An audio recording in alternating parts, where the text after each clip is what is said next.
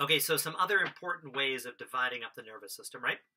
Is the need, obviously, to sort of cut into the brain or the spinal cord to be able to uh, reveal structures that are located below, let's say, if we're talking about the cerebrum, below the level of the cortex, right? So subcortical structures.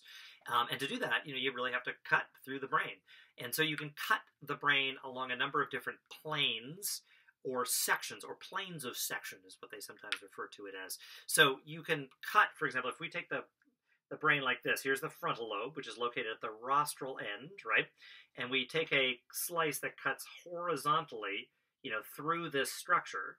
Well, we are going to be doing a cut along the horizon. This is called a horizontal section.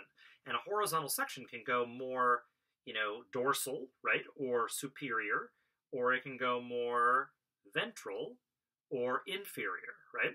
That's a horizontal slice. You can also cut right down, if I can do right here, right down the middle of the brain, right? Like right in the middle. The middle portion of the brain is called the medial portion of the brain. As you go to the side, it gets more lateral. If you have a, a cut from, you know, the most rostral to the most caudal extent, you know, front to back like this, right? And it's middle, you call it a mid sagittal or medial sagittal slice, right? You can also go more lateral sagittal, right? So you go mid, medial sagittal or more lateral sagittal. If you take a, a sagittal cut, you're only going to be revealing, you know, one hemisphere basically at a time because when you hit the middle, right, you're going to have switch over to the next hemisphere, and those lateral slices will only be within a single hemisphere of the brain. You know, the brain, of course, has two hemispheres, right? A left and a right hemisphere.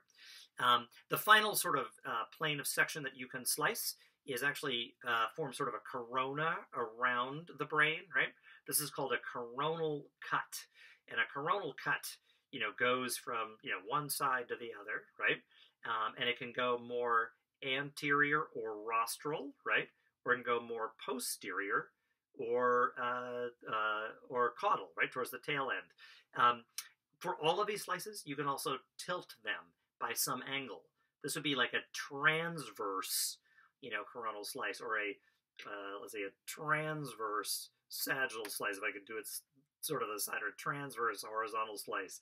Uh, but these planes of sections are very useful for identifying, you know, structures that are located deeper uh, within the brain.